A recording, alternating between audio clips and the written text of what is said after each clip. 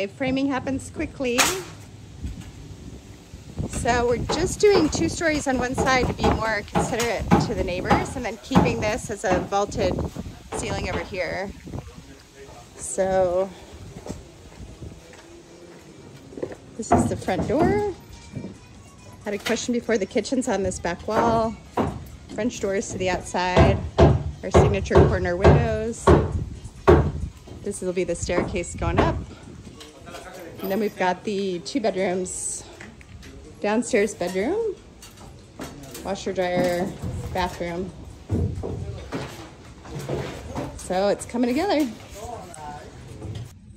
Okay, we just came upstairs in Sierra. So you'll be able to look down into the great room. Then nice lofted stairwell, and then the bedroom and bathroom are stacked.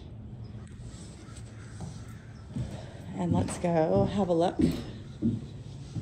towards the main yard. We've just walked into Sierra.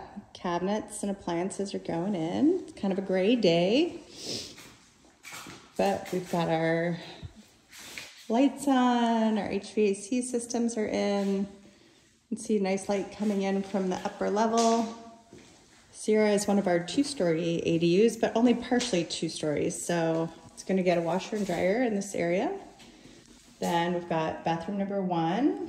Stacked on top is bathroom two, and then bedroom number one.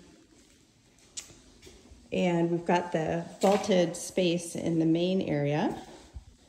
So this is a nice high ceiling, vaulted, but we kept um, the two stories just on one half of the building.